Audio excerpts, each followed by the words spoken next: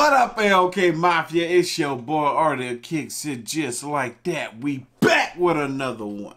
Alright, y'all. So, we got a video here that I think is about to be a good one. Last night live stream, I did a reaction to this lady's video, one of her videos, and it had me feeling some type of way. I know it had a lot of y'all feeling some type of way too. It's very disturbing, very disturbing. Sick individuals, sick, twisted people out there in this world that have done and committed some heinous, heinous crimes. But this video right here is most disturbing secrets uncovered video ever. What? Most disturbing secret uncovered videos ever. I feel like there should have been an S behind secrets and maybe an S behind uncover. Well, no, that doesn't sound right. Anyway, we're about to check this out. Y'all boys and girls ready? I will have the link to the original down in the description box below. Let's go.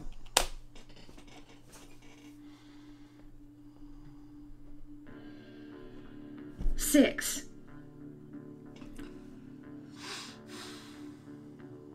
He was a killer. On the afternoon of December 7, 2003, Daniel Morcombe left his Palmwoods home on Queensland's Sunshine Coast and set off for the Sunshine Plaza Shopping Center in Maroochydore. The 13 year old wanted to get a haircut and buy Christmas presents for his family. He never made it there. Daniel was tragically abducted and murdered. Queensland police knew who was responsible for Daniel's murder, but they just needed two things a confession and a body. Mm. Then, on August 13, 2011, Brett Peter Cowan was arrested by police and charged with Daniel's murder. Cowan had been a suspect almost from day one, but had been essentially excluded after police concluded he had only half an hour to have committed the offense. However, the former truck driver's alibi fell apart at the inquest when his drug dealer and her partner said they couldn't recall him visiting them the afternoon of Daniel's disappearance. Wait, this is a bit confusing. Why was this man the the main suspect, like from the jump, and why? Like, I'm confused. What's his history? By the time Cowan had finished testifying, police bosses had given the green light to an undercover police operation so elaborate it could have come straight from the pages of a crime novel. On his April 2011 flight back to his new hometown of Perth, the suspect got talking to a friendly and likable young man in the next seat. He and Joe exchanged phone numbers and met several times over the next few weeks. Joe was actually an undercover police officer. Joe had some friends, Fitzy and Jeff, who portrayed themselves as members of a powerful criminal gang whose mantra was loyalty, honesty, and respect. Cowan was given $150 to help Joe stake out the arrivals gate at Perth Airport for a man the crime gang was interested in. In the following months, he was involved in 23 more crime scenarios, including bribing a customs officer and trafficking weapons, illegal crayfish, and even blood diamonds from Africa. The unemployed drifter told his new friends the easy money and mateship were what dreams are made of. I found the job that I've been waiting for all these years, Cowan said, unaware the conversation was being recorded. What? I need some water. Hold on. What are you telling me? They created this whole organized crime syndicate essentially just to get this man to confess to the murder of this child. They set up multiple scenarios that were all fake. No. What made them think to do that? Cowan was told he could earn $100,000 on a big job, but there was a catch. The gang had learned he would be subpoenaed for another probe into Daniel Morcombe's disappearance. In a plush Perth hotel room, the gang's big boss suggested Cowan would be dropped like a hot potato unless he confessed. The syndicate needed to know the details so they could fix any evidence Cowan may have left behind. That makes so much sense. Immediately, immediately when they started this part of the story, that's what I thought. I was like, all right, if they asking him that question, they're gonna set it up to seem as though they can cover up or clear whatever evidence might be against him or to fix his situation. That's the first thing I thought. Dang, come on, baby. Yeah, okay, you know, yeah, I did it. Cowan said before matter of factly describing how he'd lured Daniel into his car, driven him to an isolated spot, pulled his pants down, and choked him. Cowan's detailed and chilling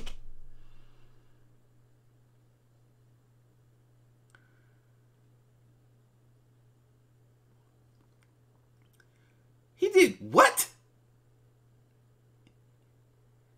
Why you gotta pull somebody's pants down to choke them? Nah, he did more than that. confession was recorded on a hidden camera, and the video was played at his trial almost three years later.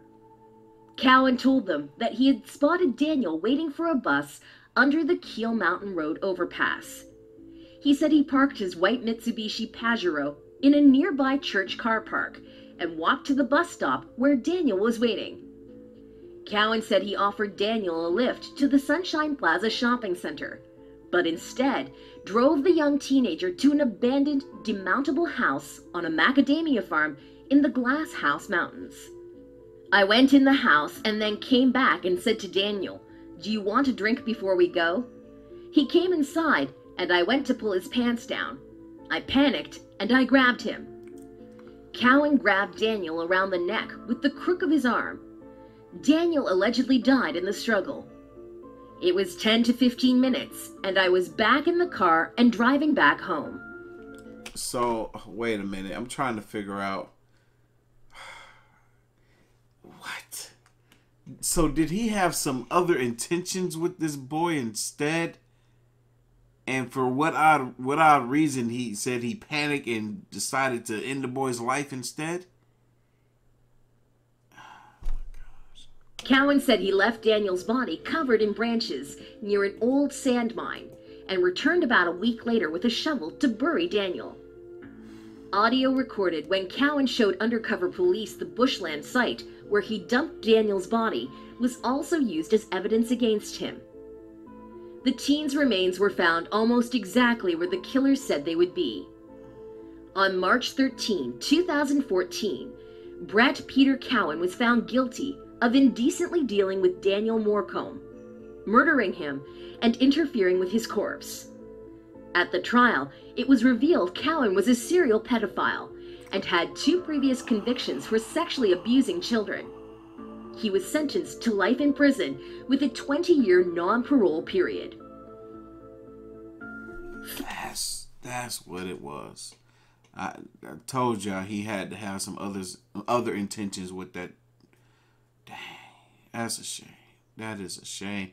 It's crazy because you would think that we would live in better times where people wouldn't do certain stuff like how people used to do back in the day. But unfortunately, that's not the case. There's still sick people in this world. There's still people doing stuff. That's crazy. That is crazy, man. 5. What? Oh, heck no. In 2017, an episode of the BBC docu-series Stacey Dooley Investigates revealed soulless Filipina mothers who eagerly advertised their own children to foreign pedophiles. Stacey, a London-born presenter, traveled to the Philippines and followed a team of local authorities and US investigators deep undercover to film the episode titled Moms Selling Their Kids for Sex.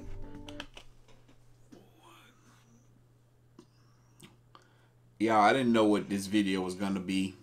I didn't know what this video gonna be. Parents that are watching this right now, hope you don't have your kids watching this with you. If anything, if you are strong enough to allow your kids to be watching this with you, let this be a teachable moment for them. Explain. Explain what's going on. Explain how there's sick people in the world like this. Let this be a lesson in teaching them the importance of not talking to strangers. This what's crazy is I heard years ago that there are men of status that will I mean I guess regular guys too, but even men of status that are bosses and CEOs of major businesses, corporations, and stuff like this. You see it with the Jeffrey Epstein case that will go to countries like this because they know that they can potentially get away with it there. Get away with doing stuff like this. In the documentary, hidden footage revealed women trying to sell their children to Mike, an undercover agent with Homeland Security investigations. The women wait, who wait, wait, wait, wait, wait, wait, wait, wait.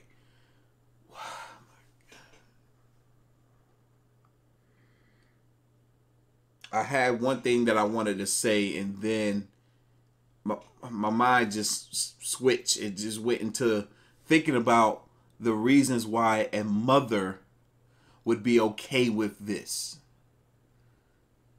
Subjecting their child to this type of um, lifelong trauma. Is it for money? Do they really need it that desperately? Is the amount of money so significant that they feel like it justifies doing it? Whatever it is. And what I was going to say before that, though, my initial thought was please tell me this baby.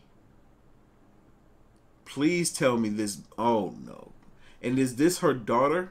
I don't look also sisters, held some kids as young as five years old. Oh. They assured Mike that the girls can do sex. According to Mike, the mothers were ready to perform orders of paying clients via webcam, as long as the price is right. He told Dooley, some of these guys. No, no, no, no. Wait, hold on. I I, I want to see this message. Uh, right now.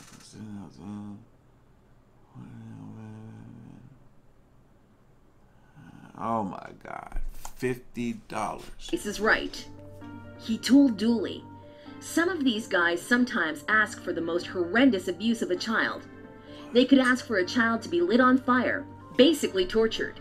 Some of these guys, you read their online chats, they're obviously terribly sick people. They're monsters. The mothers arranged to meet with Mike at a private villa where they explained their girls can do sex before he handed over money as part of the transaction. After gathering the evidence on camera, Mike and his team proceeded to capture the women. Shockingly, the women showed no remorse, and so Stacey visited the pair in prison afterwards to see if they realized the extent of their crime.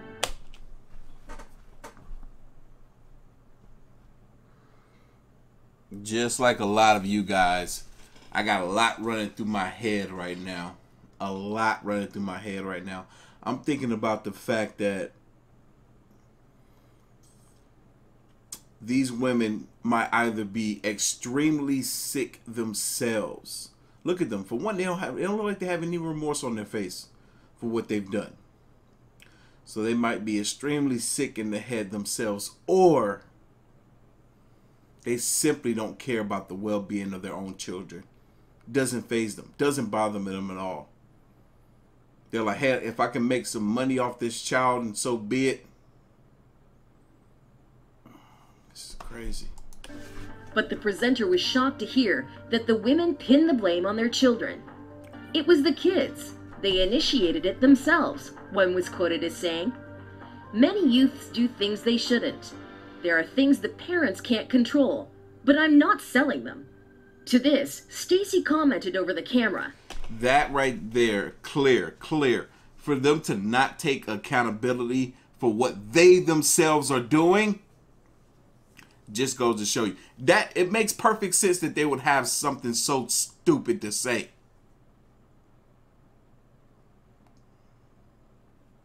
Because they themselves are. A. I know that's a complete lie. Yeah. And B to have that mentality where you're supposed to be the person that protects them Precisely. is just so depressing. Precisely. It is such a disappointment that they just confirm that it was right to take those kids away from them too. The Wow. mothers are facing up to a life sentence for child trafficking, child abuse, and child pornography. Good. After their arrests, the children of the two women are rehomed in the Filipino care system. 4.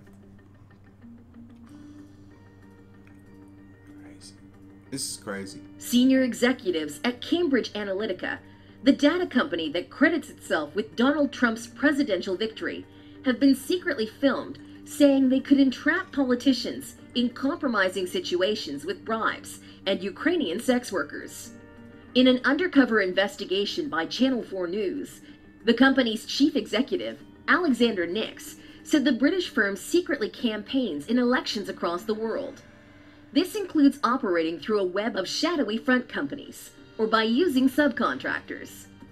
In one exchange, when asked about digging up material on political opponents, Mr. Nix said they could send some girls around to the candidate's house, adding that Ukrainian girls are very beautiful. I find that works very well. In another, he said, We'll offer a large amount of money to the candidate to finance his campaign in exchange for land, for instance. We'll have the whole thing recorded. We'll blank out the face of our guy and we'll post it on the internet. Offering bribes to public officials is an offense under both the UK Bribery Act and the US Foreign Corrupt Practices Act. Cambridge Analytica operates in the UK and is registered in the United States. The admissions were filmed at a series of meetings at London hotels over four months, between November 2017 and January 2018. An undercover reporter for Channel 4 News posed as a fixer for a wealthy client hoping to get candidates elected in Sri Lanka. Mr. Nix told the reporter, We're used to operating through different vehicles, in the shadows, and I look forward to building a very long term and secretive relationship with you. Along with Mr. Nix, the meetings also included Mark Turnbull, the managing director of CA Political Global, and the company's chief data officer, Dr. Alex Tayler. Mr. Turnbull described how, having obtained damaging material on opponents, Cambridge Analytica can discreetly push it into social media and the internet. He said, We just put information into the bloodstream of the internet. And then, watch it grow. Give it a little push every now and then, like a remote control. It has to happen without anyone thinking, that's propaganda. Because the moment you think, that's propaganda, the next question is, who put that out? Mr. Nix also said, Wow. Yo, I forgot how long ago did they say this was? Because if people ah, look, this is some real like strategy stuff when you think about it. Like, oh my god. And this is what you see going on in media now rather it's the internet or rather it's the news, it's like they can push something out there and just keep it going just to kind of form these ideas in, in people's minds. What the freak? Many of our clients don't want to be seen to be working with a foreign company. So we often set up, if we are working, then we can set up fake IDs and websites. We can be students doing research projects attached to a university. We can be tourists. There's so many options we can look at. I have lots of experience in this. In the meetings, the executives boasted that Cambridge Analytica and its parent company, Strategic Communications Laboratories, SCL, had worked in more than 200 elections across the world, including Nigeria, Kenya, the Czech Republic, India, and Argentina. The company is at the center of a scandal over its role in the harvesting of more than 50 million Facebook profiles. Out. When I was saying what I was saying about pushing stuff in the media, I was thinking Facebook. These fools were doing it on Facebook? Oh no.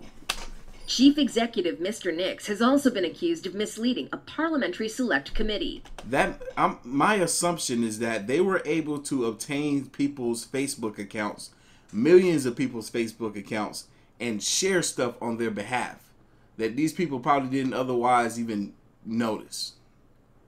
Or like and comment on these people's behalf on certain posts that they were pushing out? which is now asking him to provide further information. He has denied the allegations. In March 2018, Cambridge Analytica spokesman said, We entirely used entrapment, bribes, or so called honey traps for any purpose whatsoever. We routinely undertake conversations with prospective clients to try to tease out any unethical or illegal intentions. They said, Cambridge Analytica does not use untrue material for any purpose. And they insisted that opposition research and intelligence gathering, the use of subcontractors, and working discreetly with clients are all common practice and legitimate. 3.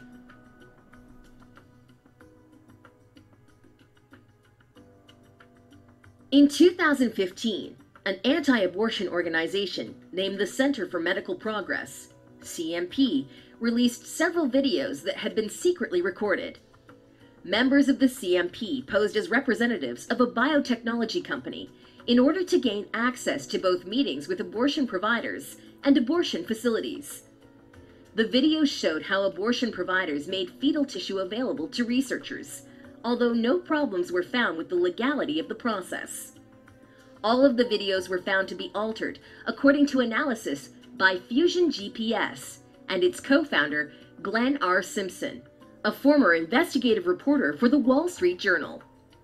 The videos were made over a period of 30 months and were released approximately once per week to increase exposure, including media coverage, and to allow the public more time to consume and react to each video.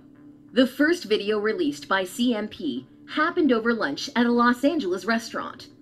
Two anti abortion activists posing as employees from a biotech firm met with Deborah Nucatola, Planned Parenthood's Senior Director of Medical Research. Armed with cameras, the activists recorded Nucatola talking about Planned Parenthood's work with donating fetal tissue to researchers and pressed her on whether the clinics were charging for the organs. The video shows Nucatola describing in graphic detail how abortionists are able to harvest organs from aborted babies based on the parts that are needed. To which one of the fake buyers replied, Yeah, a dime a dozen. She went on to describe how they are able to require other organs without crushing them.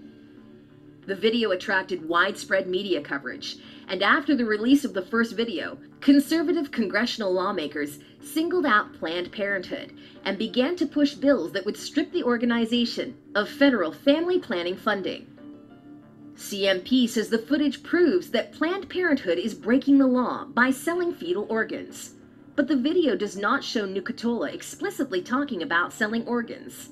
The Planned Parenthood official says the organization is very sensitive about being perceived as illegally profiting from organ sales and charges only for the cost, for instance, of shipping the tissue. In a statement, a spokesman for Planned Parenthood. Wait, wait, wait, wait, wait, wait, wait, what, what? I'm confused. What is the point of selling the organs? Like, what are people doing with them?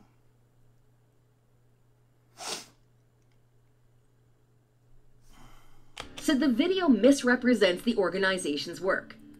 Planned Parenthood clinics, with a patient's permission, may sometimes donate fetal tissue for use in stem cell research, said the spoke. Yeah, when I heard fetal tissue, I thought stem cell research. But okay, they, they had me thinking otherwise for a moment. Man, who added that the group's affiliates, which operate independently, do not profit from these donations. Okay. Officials in 12 states initiated investigations into claims made by the videos, but none found Planned Parenthood clinics to have sold tissue for profit, as alleged by CMP and other anti abortion groups. On March 28, 2017, CMP founder David Daleiden and member Sandra Merritt were charged with 15 felonies in the state of California. One for each of the people whom they had filmed without consent, and one for criminal conspiracy to invade privacy. The editorial board of the New York Times described CMP's actions as a campaign of deception against Planned Parenthood and wrote that the video campaign is a dishonest attempt to make legal, voluntary, and potentially life saving tissue donations appear nefarious and illegal. Mmm, interesting. Very interesting. 2. Uh oh. China's Tainted Meat Scandal. In mid 2014, a video surfaced in Chinese media showing appalling practices in a Shanghai food processing factory that supplies ingredients to many international restaurant brands. A reporter from a Shanghai broadcaster secretly filmed inside the food processing plant of Shanghai Husi Food, a subsidiary of US based food supply giant OSI Group. The footage captured workers handling food with their bare hands. Several scenes showed them picking up meat that had fallen on the floor and returning it directly into the processing machine. One worker, his face concealed behind a surgical mask, turned to the camera and stated, Foul meat, referring to the meat being handled. Shanghai Municipal Food and Drug Administration, FDA, subsequently investigated the factory and found that expired beef and chicken products were processed and repackaged with new expiration dates. In some cases, the meat was reportedly up to a year past its expiry date. Amongst the tainted. Ew! A year past its expiration date! These fools ought to be ashamed of themselves. I can't believe this mess. Products. They were able to trace forged production dates on more than 4,300 cases of smoked beef patties, with more than 3,000 cases already sold. Husi had been supplying chicken and beef products to branches of McDonald's, Papa John's, Burger King, Starbucks, KFC, and Pizza Hut in several cities in China. Wow. Since the scandal broke, all brands have cut ties with Husi's parent company, OSI Group, except for McDonald's. Although no one has fallen sick as a direct result of the tainted meat supply, Shanghai's FDA has closed the Husi plant at the center of the scandal and detained five employees for questioning. Meanwhile, Shanghai's top official has pledged to met out severe punishment for anyone involved in the incident. 1.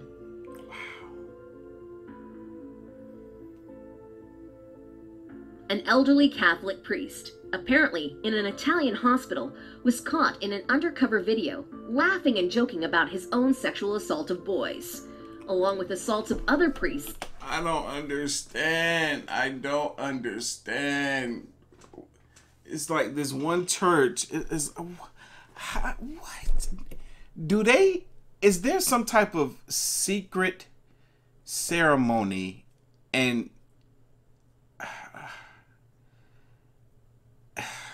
I'm conflicted. It's almost it's almost like I don't want to say what I'm about to say, but seriously, it's like it happens too much. It's too often. Is this is how they are, initiated? It's like you like little bulls, right? Okay, then we that's that's what we want. I really don't want to say at a diocesan home for deaf mute children. The 2017 video shows Italian father is preying on deaf mute children.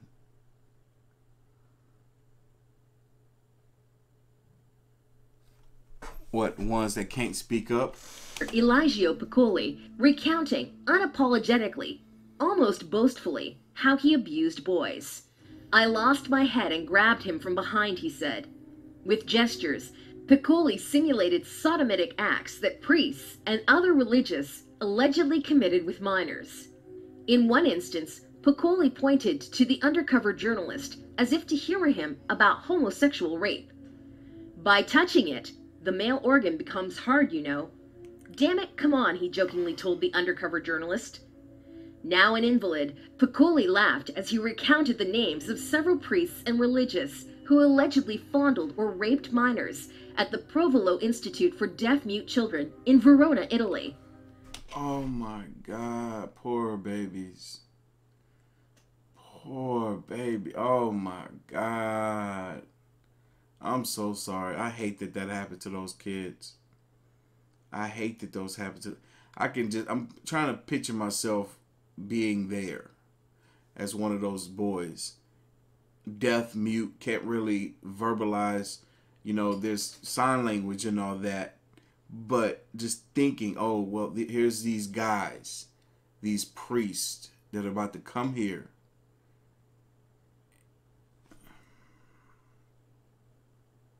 And prey on us. Mm. That's a shame. Piccoli is one of several priests and staff of Provolo Institute in Italy, which was operated by members of the Community of Mary religious congregation. With those kids, Piccoli tells the hidden camera, while wearing a rosary around his neck, the only joke I did was to touch one, even though I shouldn't have done so.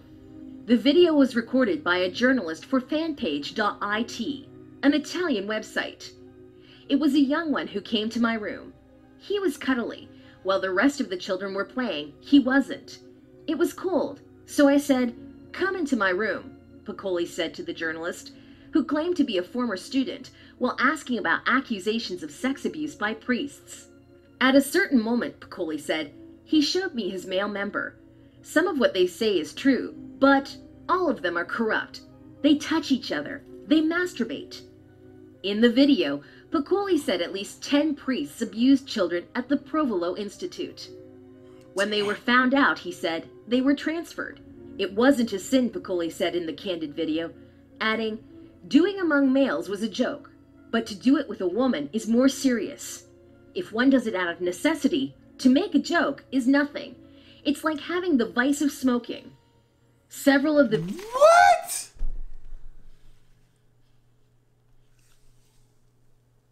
Are you serious?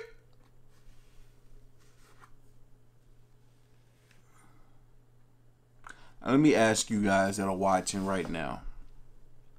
Does this sound like a joke to you? Does this sound funny? This is not a joke. Last I checked, jokes weren't physical.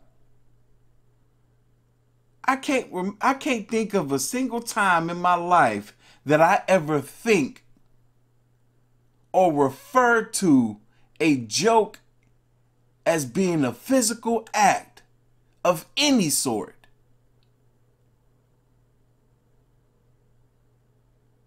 This is wrong. Just like they felt it was wrong or worse if it was a woman, it's just as wrong being that it's a boy.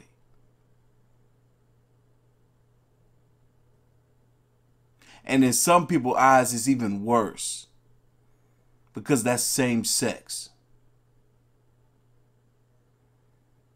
This is disturbing. Victims have given accounts of experiencing and witnessing abuse while they were at the Provolo Institute in Italy. In 2009, 67 former students of the Provolo Institute accused priests, nuns, and consecrated laity of sexual abuse of children.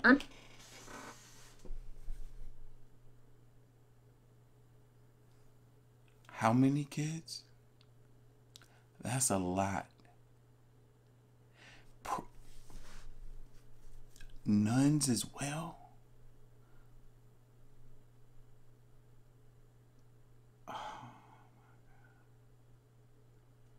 I thought nuns were.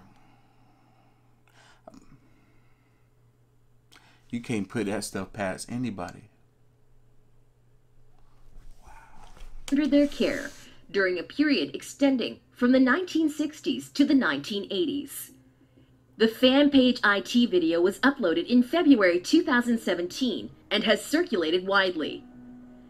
Piccoli is now more than 85 years old and was receiving care in December 2017 at a residence for elderly priests at Negrar, a town approximately 10 miles from Verona in northern Italy. According to the Argentine newspaper Clarin, Piccoli was later moved from Negrar to an undisclosed location where he is protected by officials of the Diocese of Verona.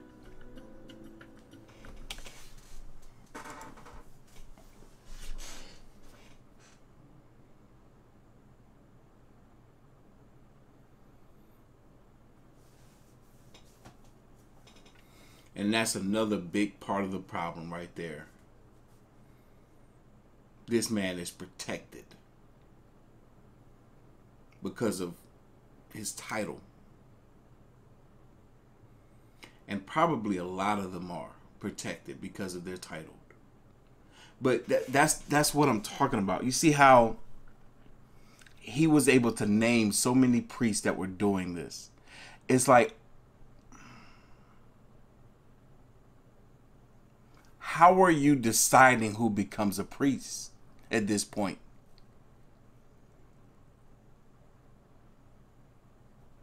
Wow. I look. These stories just keep getting crazier and more disturbing. Anyway, y'all know what time it is. I'm gonna catch y'all later. This is crazy. Peace.